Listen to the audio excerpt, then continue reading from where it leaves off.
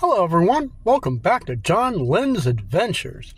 Boy, I tell you what, after I took some concrete and rebar back back to the uh, hardware store to get my money back on it, I decided I was going to stop by the elusive Murray Donuts. Now, I couldn't film in there, but I tell you what, they had something I wanted to show you.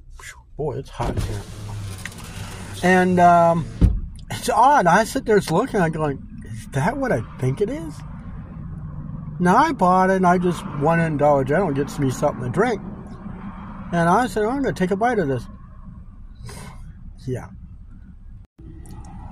That's right. A donut. Very well made donut with maple glaze on it and chopped cooked bacon. Oh. You like bacon? Guys, you gotta try this out. I mean, you go to your local donut place and ask them, go, do you have something that looks like this? I tell you, it's awesome. Mm. So meow me.